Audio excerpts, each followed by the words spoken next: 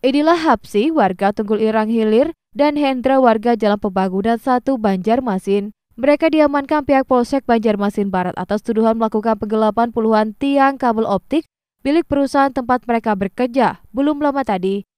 Sebelum menciduk kedua terduga, pihak Polsek Banjarmasin Barat lebih dahulu menangkap terduga penadah barang bukti sekitar 20 tiang optik 7 meter dan beberapa tiang kabel dengan tinggi 9 meter.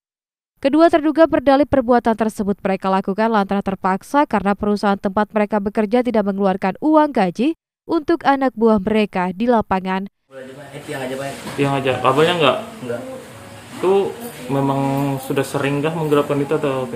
enggak ini bisa bayar tenaga aja pak Maksudnya? waktu itu kalau dibayar kantor habis itu bosan untuk membayar tenaga Hmm, pakai cara kayak itu pak hmm, baru pertama ini. Hmm. Berapa satu tiangnya dijual? Belas mampu. 250 ribu. Hmm. Itu berapa tiang kemarin jumlahnya itu? kalau saya sendiri 40 40. ada berdua ada sendiri sekali ini baru ini aja pak Baru ini aja karena kada dibayar tadi. iya karena dibayar Hmm, berapa bulan nggak dibayar gaji?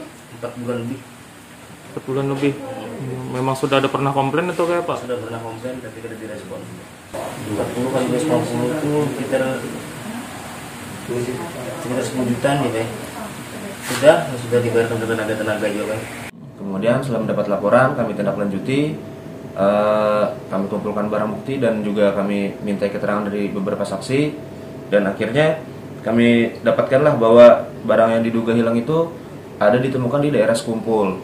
Hmm. Nah dari daerah Sekumpul tadi masih kami kembangkan lagi untuk mencari eh, pelaku utamanya itu siapa. Akhirnya didapatkan bahwa pelaku utamanya itu adalah karyawan dari PT BMI tersebut, karyawan dari PT BMI sendiri, yaitu atas nama Hasbi. Hmm. yang total akhirnya total tersangka berjumlah tiga orang di mana eh, dua kerjasama untuk menggelapkan yang satunya sebagai penadah. Hmm. Untuk penada sendiri siapa namanya? untuk penadanya atas nama Yayan.